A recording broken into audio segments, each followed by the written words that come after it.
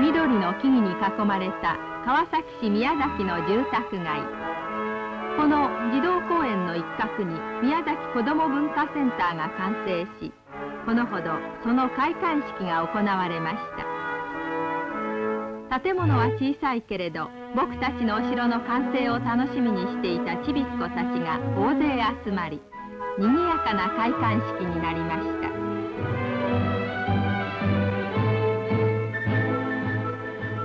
ども文化センターは地域の子どもの福祉の向上を目指すものでいろいろな設備があります。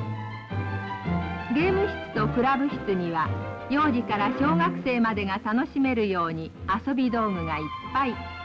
わんぱくな僕は組み立て細工に取り組みお兄さんお姉さんはおはじきゲームに真剣また図書室には学習図書から漫画まで揃っており自由に読むことができます。そしてホールではセンターの先生の指導で子ども大会が行われ笑顔がいっぱい。子ども文化センターは川崎市では初めてのものですが遊び場の少なくなった子どもたちにはなかなかの評判。市ではこれからもこうした施設を作っていく計画です。